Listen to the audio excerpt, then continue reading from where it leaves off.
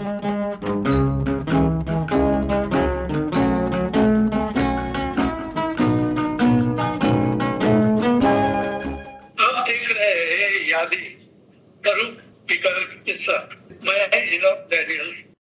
सरवाई, केरसी लॉर्ड, सुमित मित्रा, विस्ताप बलसारा, धीरज, सूरज साठे, हुम्मी मुलन, रेवाचंद, के भारत, कणकन दास गुप्ता ये वो तमाम फनकारों के नाम हैं जिनका नाम हिंदी सिनेमा में अकॉर्डियन के साथ जुड़ा हुआ है। लेकिन इन्हीं फनकारों में एक नाम ऐसा भी है जो कि अकॉर्डियन का सिनोनिम है, यानी अकॉर्डियन का दूसरा नाम। अपने दौर के जाने माने पियानिस्ट अकॉर्डियनिस्ट म्यूज़िक कंपोजर और शानदार म्यूज़िक अरेंजर जिन्होंने S D Burman Naushad C Ramchandra O P Nayyar, Madan Mohan, Khayyam, Salil Chowdhury, Vasant Desai N Datta और शंकर जयकिशन के साथ अकॉर्डियन और पियानो बजाया है। जनाब इनॉक डैनियल साहब यूट्यूब की दुनिया में आपका स्वागत है। खैर मकदम है। वेलकम सर सर आने वाली 16 अप्रैल को आप 89 बरस के हो जाएँगे। सबसे पहले ये बताइए कि आपकी हेल्थ का आपकी सेहत का राज क्या है आ, मेरे ख्याल से परमेश्वर पे भरोसा मेरी जो he has taken care of me I should say and I have full faith in that. Yeah. and और जितने दिन भी मैं रहूँगा तो उनके मर्ज़ी से ही रहूँगा। और मेरी यही प्रार्थना है कि उनकी इच्छा से मेरे मैं उनका पूरा काम पूरे करूँ। वाह। डैनी साहब आपके ज़रिए हम रफ़ी साहब की यादें ताज़ा करना चाहते हैं। सबसे पहले ये बताइए कि रफ़ी साहब से मिलने से पहले क्या राय थी आपकी? और उनसे मिलने के बाद क्या फ़र्क आया आपकी राय में, आपके ओपिनियन में? मैं जब पियानो सीखता था स्कूल में, था जब and talking about late forties and fifties beginning तो तब से मेरे को, मेरे दिमाग में रफी साहब के गाने थे। और सबसे बेटर सॉन्ग जो आज तक मुझे अच्छा लगा वो है सुहानी रात ढल चुकी वाह जी वाह but unforgettable song, unforgettable. और पियानो पे इतना अच्छा मुझे लगता था बजाने के लिए and that attracted me towards film music, I should say, that particular song. वैसे मैं सीखा वेस्टर्न क्लासिक लेकिन for profession I had to get adopted to Indian music and that to filmy music. Sir, Rafi साहब से आपकी पहली मुलाकात कब और कहाँ हुई थी और उस मुलाकात में आपने क्या ऑब्ज़र्व किया, क्या महसूस किया था? ऐसी मुलाकात जो होती रही, वो तो रिकॉर्डिंग्स में ही। तब हमारी कोई बात नहीं होती थी। वो अपने, हम हमारे काम में बिज़ी रहते थे, वो अपने काम से पूरा करके निकल जाते थे। तो म्यूजिशियन से ज़्यादा बातें नहीं होती थी। और जब फ्री रहते थे, तब मिल सकते थे हम उनको लेकिन तब हमारी इतनी फ्रेंडशिप नहीं हुई थी, मगर कुछ दिनों के बाद जब certain music directors like Shri Ramchandra वो लोग, उनको, जब रिहर्सल के लिए कभी कभी वो रफी साहब के घर जाते थे, और मेरा मकान भी उधर ही पास में था बैंड्रा में तो मेरी पहली मुलाकात श्री रामचंद्र के साथ, उनके साथ हुई। वो मुझे पिकअप करके उनके घर गए। थे क्योंकि मैं उनका नोटेशन कर रहा था। तो वो बोले रिहर्सल में जो फाइनल होगा वो फाइनल होगा। इसलिए मैं मेरे को लेके उनके घर गए थे। वो हमारी असली पहली मुलाकात हुई। तो रफ़ी साहब के साथ आपके रिलेशंस क्या बस आर्टिस्ट लेवल के थे? यानी क्या सिर्फ़ प्रोफेशनल रिलेशंस थे या आप उन्हें नज़दीक से भी जानते थे? As a person, he musicians, he liked everybody. मेरी इतनी फ्रेंडशिप ऐसी हो गई थी कि रास्ते पे जब भी देखेंगे तो गाड़ी रोकेंगे और पूछेंगे आपको लिफ्ट चाहिए कहीं जाना है? ऐसे इतने बहुत अच्छे थे सर रफ़ी साहब के साथ आपने कितने स्टेज शोज़ किए होंगे और उन शोज़ में आपके दिल के करीब सबसे यादगार शो कौन सा रहा और उसकी कैसी यादें हैं आपके साथ? उनके साथ मेरे ख्याल से सबसे बड़ा शो मैं बोलूँ तो अब जवानों शो किया था दिल्ली में पंद्रह अगस्त। हाँ। श्री रामचंद्र के साथ मैं भी गया था। तो हमारा ऑर्केस्ट्रा और रफी साहब ने गाना गाया। और वो सबसे बड़ा शो रहा। अच्छा। Very prestigious program right right तो ये कहाँ हुआ था शो सर? दिल्ली में हुआ था। दिल्ली में हुआ था राइट फिर 1966 का वो तारीखी शो हिस्टोरिक शो जिसे कहते हैं जिसमें बजी लॉट साहब दिलीप नायक साहब ऐसे सब आर्टिस्ट आपके साथ थे। अ, इस मैंने तो ये भी सुना है कि बजी लॉट साहब को आप ही ने कन्विंस किया था कि मेरे साथ चलो करके वेस्ट इंडीज चलो। वो आए थे साथ में जी। कैसा रहा वो शो और कैसी यादें हैं उस शो की? बहुत सक्सेसफुल रहा बहुत मज़ा आया था। जी। कंप्लेन है ही नहीं ना रफी साहब को तो हर एक गाना परफेक्ट रहता था। गाने में उनकी बिल्कुल किसी बात की कमी नहीं होती थी। He was perfect absolute Danny sir आपने हिंदी सिनेमा संगीत का वो दौर देखा है कि आज बड़े से बड़ा म्यूजिशियन भी आपके सामने बौना नज़र आता है। ये बताइए कि उस दौर के संगीत में और आज के संगीत में आप क्या फ़र्क महसूस करते हैं? मैं ये संगीत फ़ील्ड में ही ब्लेम नहीं करूँगा। वैसे पूरे कल्चर में जो बदल हुआ है I will call today's culture as use and throw अच्छा। हमारे टाइम ऐसे नहीं था वो जब हम जवान थे thirty forty years back and fifty years back everything use to last and which ever lasted that thing was valued by the people अच्छा म्यूज़िक में मज़ेदार बात लोगों को शायद मालूम नहीं है कि अल्टीमेट जज कौन होता है म्यूज़िक का? अच्छा है या बुरा है?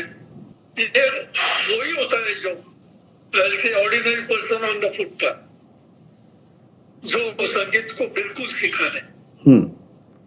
And they are the majority who जिन जिनके दिलों में जो अच्छा कंपोजिशन है वो जाके बैठ जाता है। कैसे बैठते हैं that is the power in music if that music is genuine वो समझने वाला नहीं भी होगा तो भी उसको अच्छा लगे हम्म। उसको बार बार सुनने को अच्छा लगे ऐसा ये बात आज के संगीत में है का? बिल्कुल नहीं है। बिल्कुल सही बिल्कुल सही।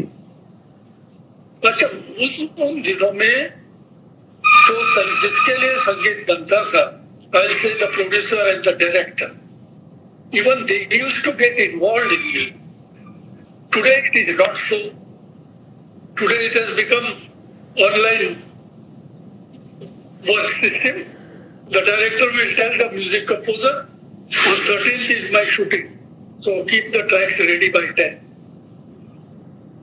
वो ट्रैक ट्रैक बनने के टाइम में हाजिर भी नहीं होंगे they may not come it is left to the music composer तो सब अपने अपने हिसाब से कुछ कर लेते हैं। Whether it is going to suit the film और नॉट नो बडी थिंग्स पहले जमाने में बहुत केयरफुल रहते थे। The director use to tell the composer कि तुमने क्या बनाया? कि मेरा सीन जो है वो रोड साइड पे है और दोपहर का तीन बजे का टाइम है। आपने सा राग यूज़ किया? Like that they knew something about music but today, who is telling anything? Nobody because music is not known to them. जी मैं समझ रहा हूँ। आपने कहीं कहा था कि उस दौर का संगीत जो था माँ के हाथ की रोटी का तरह नहीं और समझदार लोग भी बनाते थे ना उसी को। उनको अपना प्रेस्टीज कायम रखना था। लोग क्या बोलेंगे? मैंने कंपोज किया और ऐसा गाना नहीं। वो अपने हिसाब से बराबर करते थे। करेक्ट करेक्ट डैनी साहब हमारे देखने और सुनने वाले ये जानना चाहेंगे एक लेमैन एक ये जानना चाहेगा कि एक पर्टिकुलर गीत कैसे बनता है? उसके पीछे क्या तैयारी होती है? कितने म्यूजिशियंस लगाए जाते हैं? क्या क्या ध्यान रखा जाता है? You being a music arranger मैं आपसे ये सवाल कर रहा हूँ कि किस तरह से एक गीत बनता है?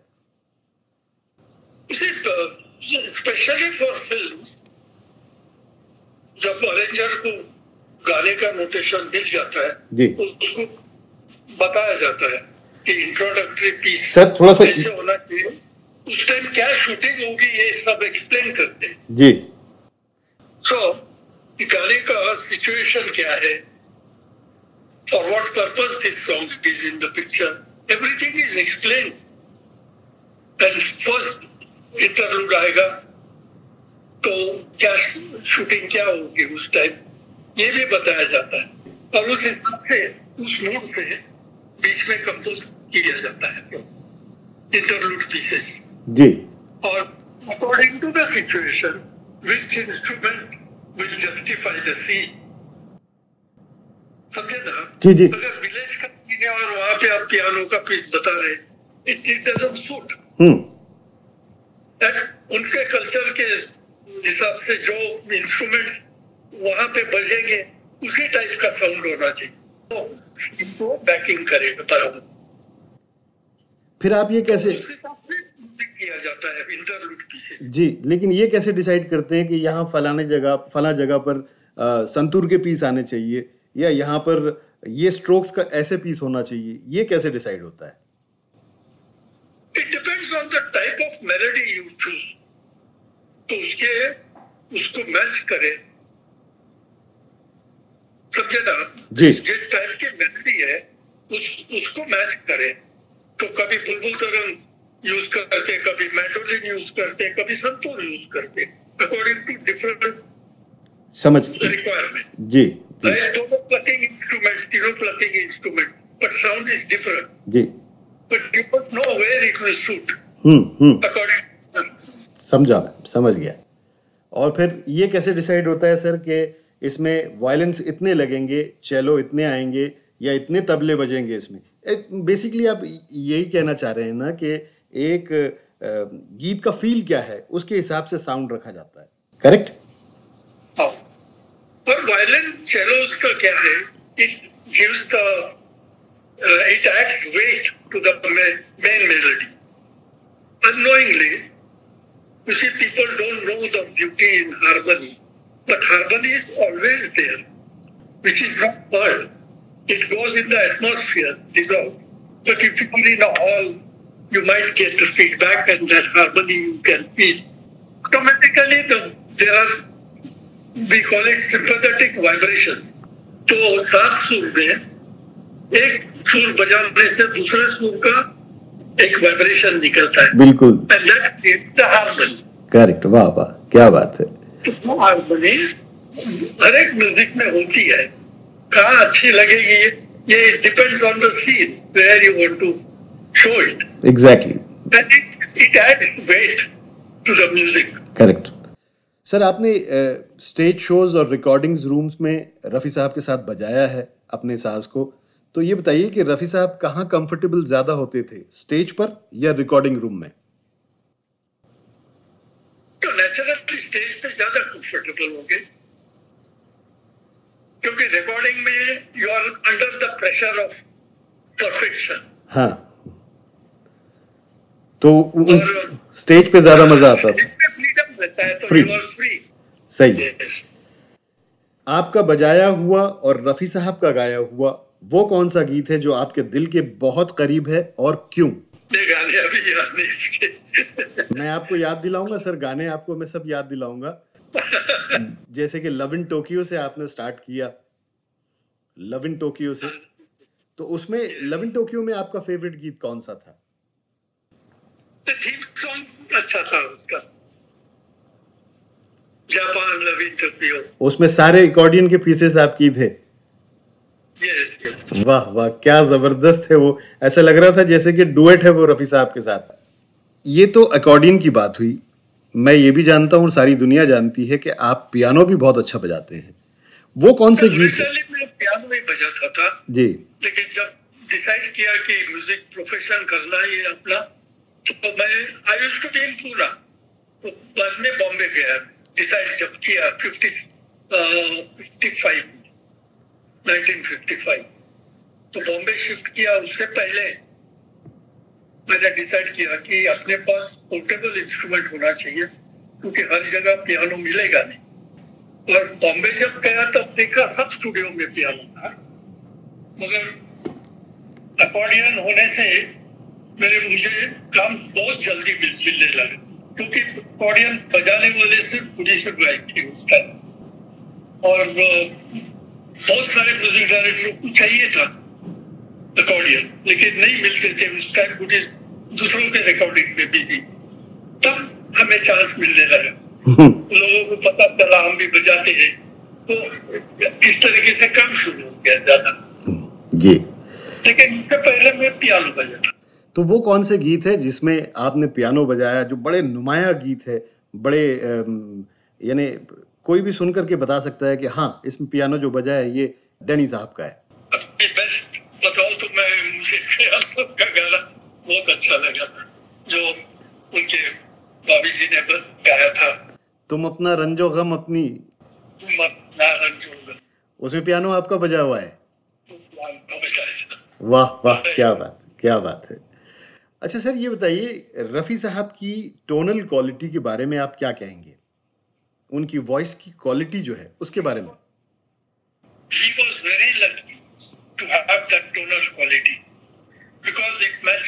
प्रैक्टिकली ऑल द हीरोज कभी इसे लगा नहीं कि लग रही। Gift god has and he pickup इतना अच्छा रहता था उनका कि मुझे डायरेक्टर को कोई तकलीफ़ नहीं होती। उनको ट्रेनिंग करने में। एक रिहर्सल में वो फिट हो जाते थे बिल्कुल।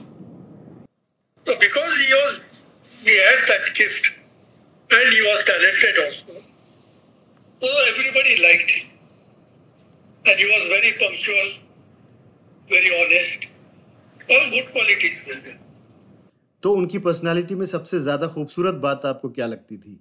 Other than the voice other than the voice is gentleness was very gentle कभी ऐसे नहीं लगा कि I am somebody. Never never. He was just a simple man.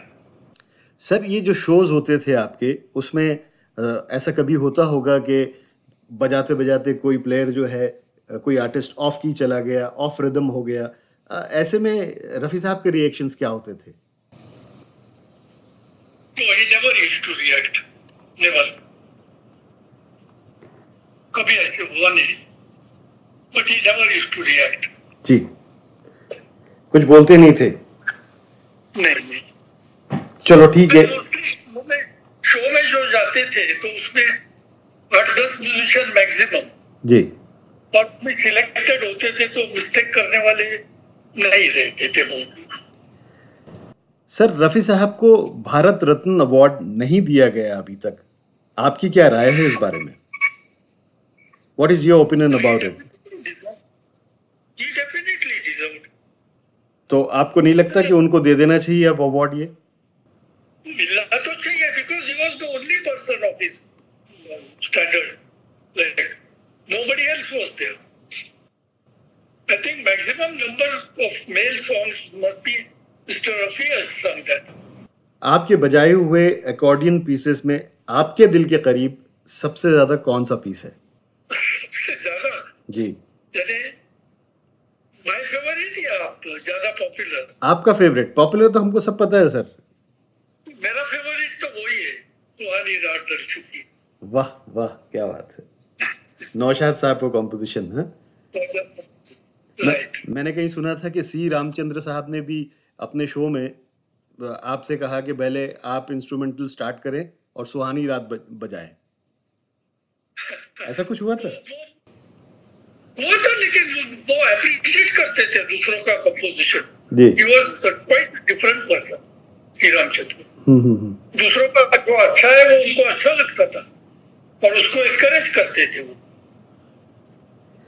बिल्कुल यानी they never use to object कि मेरा ही बजाओ मेरा ही करो। बिल्कुल नहीं। तलत महमूद साहब मन्ना डे साहब रफ़ी साहब किशोरदा इन सब के साथ आपने लता जी के साथ आपने लाइव शोज़ किए हैं। इन तमाम फनकारों में जी। इन तमाम फनकारों में और रफ़ी साहब में क्या डिफरेंस नज़र आया आपको? सभी अच्छे थे। रफी साहब अपने कैबियन as a popularity Rafi was more popular no doubt but as persons I mean all were good all were good Royal Albert Hall की कैसी यादें हैं sir? Royal Albert Hall I had perform ji. I know जी। तो वो कैसा how was that feeling के first time grand very grand hall and you feel proud when hall with very capacity sound system, everything perfect, nothing to complain about. Very nice place. So, what are your memories of Royal Al- Albert Hall, sir? Memories यही है कि I got lots of friends after that show from London. Lots of friends. Van Shipley East Africa तेईस साल की उम्र कैसी यादें हैं ये सब भैया सर वो तो शुरू से हम साथ में ही थे मेरे ख्याल से 57 जी to East Africa. हम्म वैसे गए थे 25 shows के लिए uh, that time Talab used to act in movies also ji so he had to return after certain time and um, Subhan, myself and C.H. Atma was with us hmm we remaining three artists we continued and we did 40 shows there. वाह वाह चालीस shows वाह Yes. This is in East fantastic yeah yes. Sir ये ये पर्दा हटा दो रवि साहब का जो गीत था रविशंकर शर्मा साहब का इसमें क्या आपने अकॉर्डियन बजाया था? नहीं I don't think so no. अच्छा चित्रगुप्त साहब का गीत ये पर्वतों के दायरे? तुम्हारी नज़र क्यों खफा हो गई? एक्चुअली मेरे को वर्ड्स बिल्कुल याद नहीं आते। लेकिन आपको शंकर जयकिशन के कॉम्पोजिशंस तो याद होंगे। खासतौर से आ गले लग जा उसमें शायद आपका हम्म, आपके अकॉर्डियन के पीसेस हैं। के बहुत सारे गाने थे। जैसे? और आखिर में तो जयकिशन जी जाने के बाद last two picture Shankar ji ने किए थे। वो सब गाने मैंने अरेंज किए। क्योंकि सेबेस्टियन भी निकल गया। जी। चले गए थे। जलते हैं जिसके लिए बेकरार करके हमें यूँ ना जाइए या फिर ये सब आप ही की पीसेस बजाए हुए हैं राइट एस डी बर्मन साहब के साथ।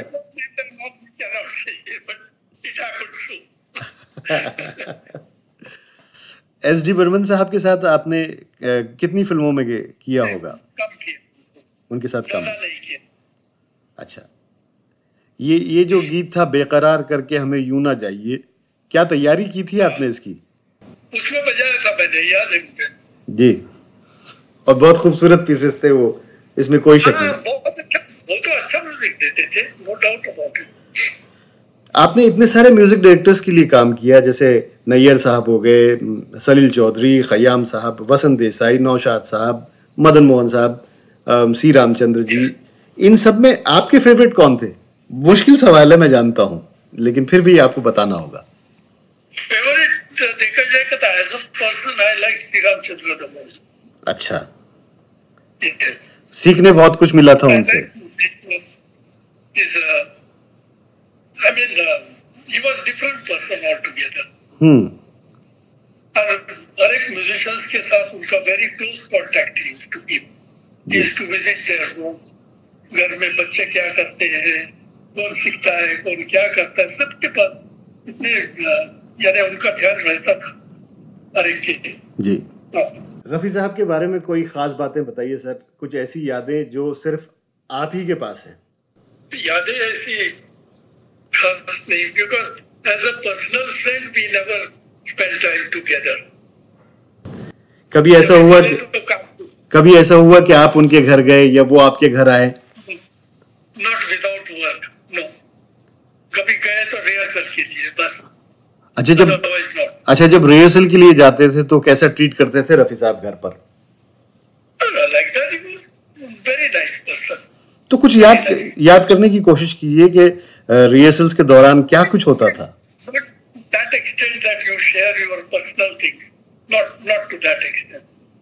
क्लोज नहीं अच्छा। मैं समझ गया। ठीक ठीक सर